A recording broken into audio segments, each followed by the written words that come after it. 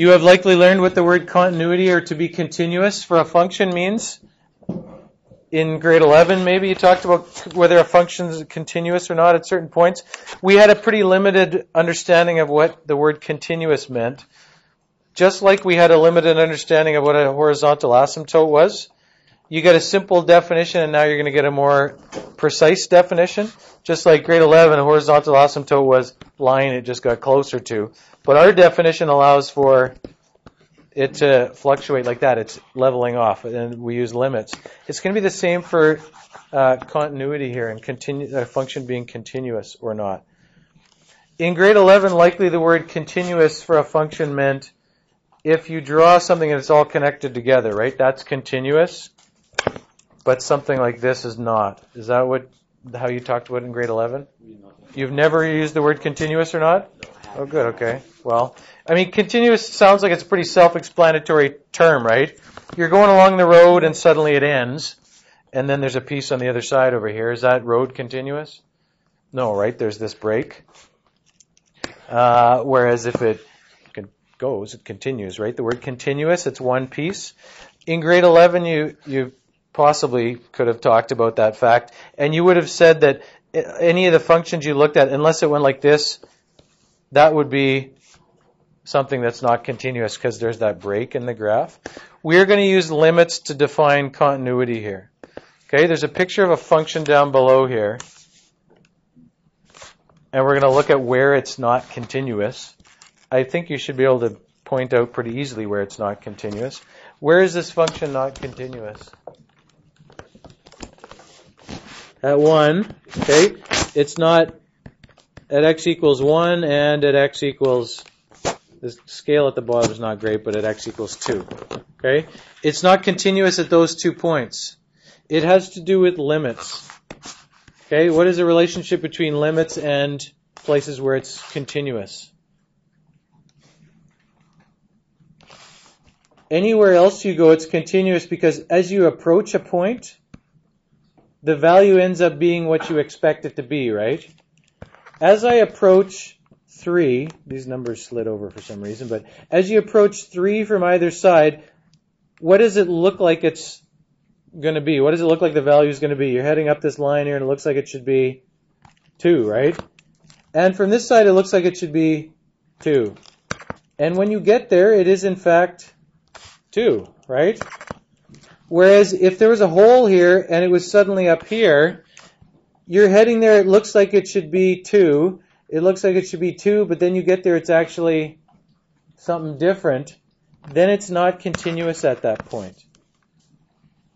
If when you get there, it's what you expect it to be, then it's continuous.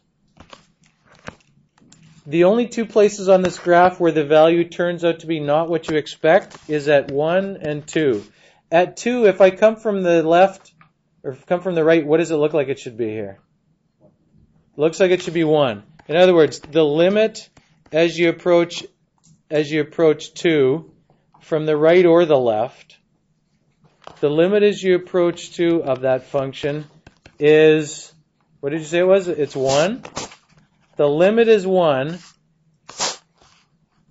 The function actually is what value though? But, but the function is 2, right? But f at 2 is equal to what? 2. As you get closer, the limit is 1, but the actual function value is 2. Right? As you approach this value here as you approach, try and color code it here. As you approach 2, okay, as you approach 2, it looks like the number should be 1, but it's actually equal to 2. You're, you're getting closer and closer. Look, I'm heading for 1. Whoops, suddenly I'm way up here, right? Real world things don't happen like that. The one I like to use is the plane landing. Not that I'm going to draw a plane here. How do you draw? Can you draw a stick plane? Probably not, eh? What's that? Draw unpause it. Okay, so we need a we need a we, we definitely need a clipping of that. Um, clipping of this guy. this is high tech stuff. Unfortunately, the trees over there are going to be flying along with the guy. And I need this. We need to get it out of that box first.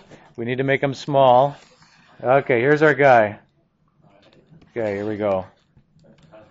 That was not worth it at all. here's the ground. Real things don't work this way, okay?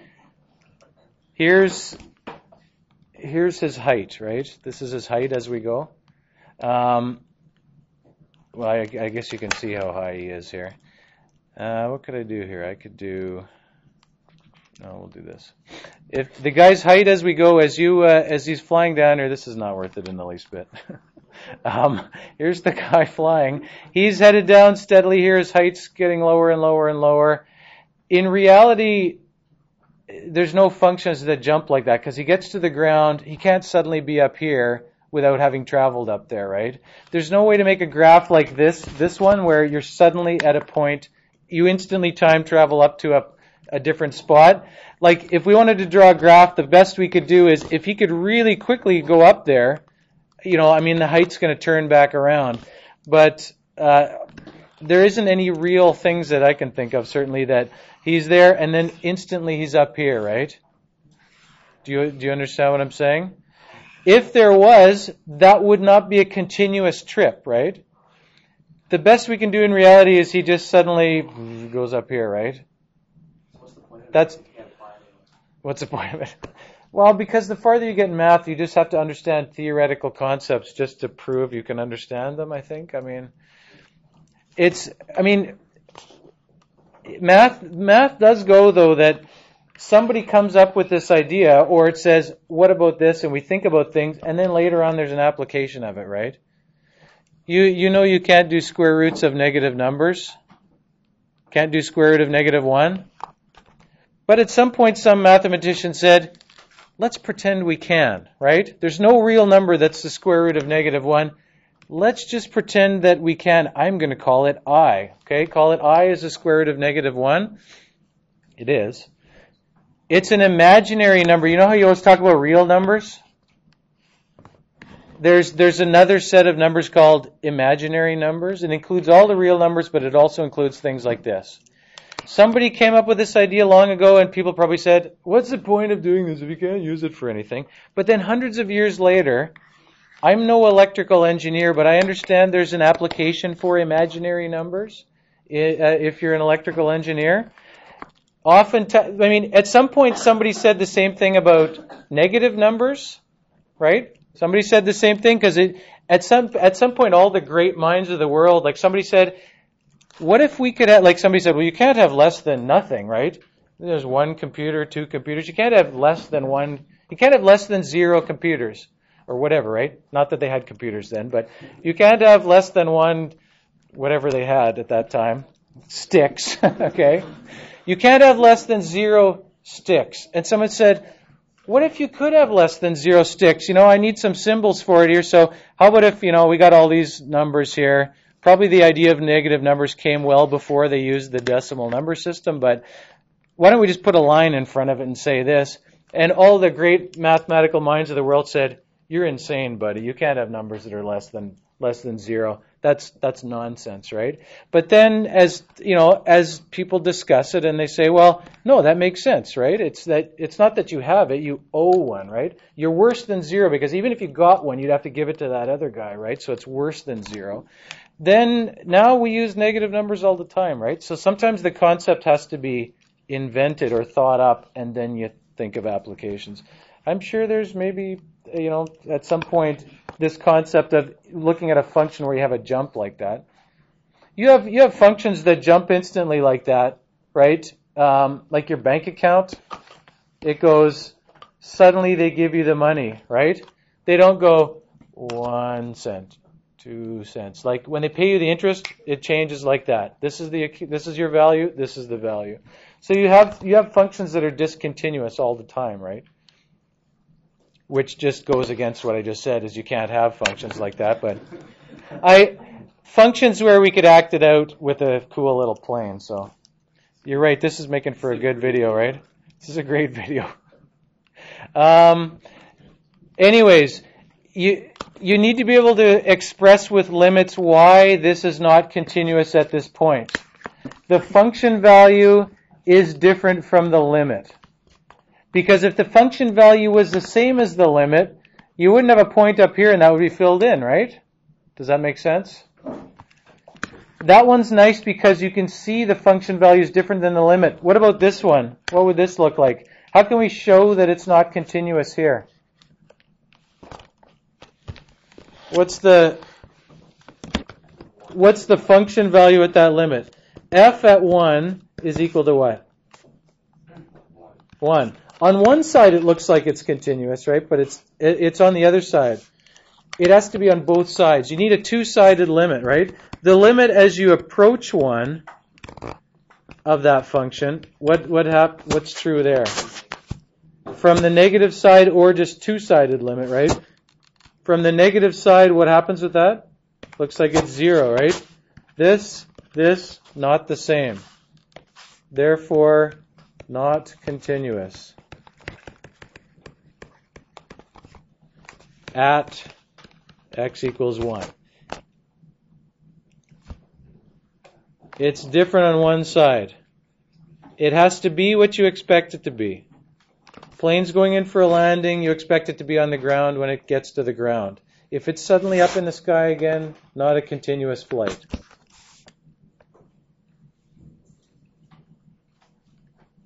That is the concept of continuity.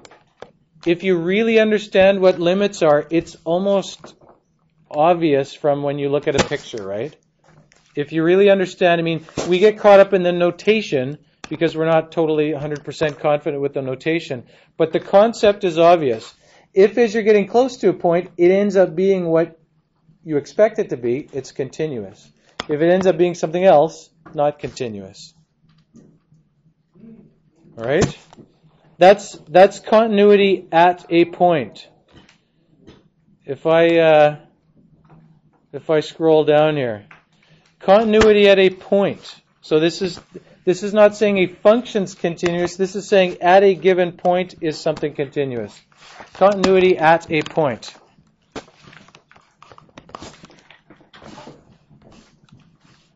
A function is continuous at a point. If the limit as you approach C is the same as, I don't even know why I'm coloring it differently, but if the limit as you get close to C is the same as what actually happens at C. If the behavior as you get close to C, if the behavior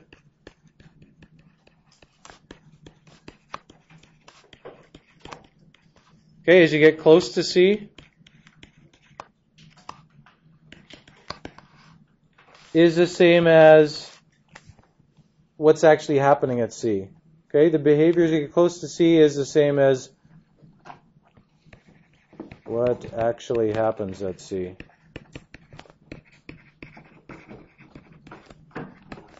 At, at C, not at SEA. at C. What happen, What actually happens at C? It just sounded weird for a second there. This is saying behavior close to C. This is saying the value at that point. It says this interior point because if you have some function like this, if you pick a point here, it's oops, it's continuous if there's the value c, right? If this is the function value at c, f of c. If the limit is the same as that, then it's continuous. But if I was to take this now and move it up like that, and then there's a missing value here, now it's not continuous because the function value is different than the limit. That's it. The reason that there's something separate for endpoints is because you can't have a two-sided limit at an endpoint because there is no two sides. So what it says is at a left endpoint or a right endpoint, at a this is a right endpoint because it's at the right side of the function. You at a right endpoint, you can only have a limit coming from the left, right? Does that make sense? That's why it says coming from the left side or the right side. Okay?